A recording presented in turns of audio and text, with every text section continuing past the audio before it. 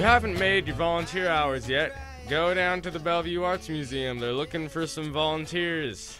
First of all, our biggest event of the year, our annual uh, fair, Arts Fair, Bellevue Arts Museum Arts Fair is coming up, and we're looking for about 200 volunteers uh, to help us out with that weekend. It's the last weekend in July, the 26th through the 29th, and we're looking for um, volunteers to help out in a number of different capacities, including uh, Kids Fair, which is kind of a spin-off of the festival. It's part of it, and um, it involves working with kids, um, doing crafts and activities, and then there are a number of other ways to get involved as well. Throughout the rest of the year, we also have ongoing volunteer opportunities, uh, and those include special events where we need help with checking guests in, greeting them as they arrive, um, setting up for the event, and various other tasks.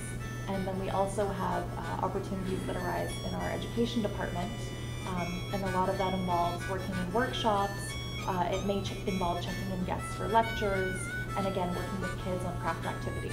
If you're interested in volunteering at the Bellevue Arts Museum, contact them at 425 519 0745 or go to their website, bellevuearts.org. So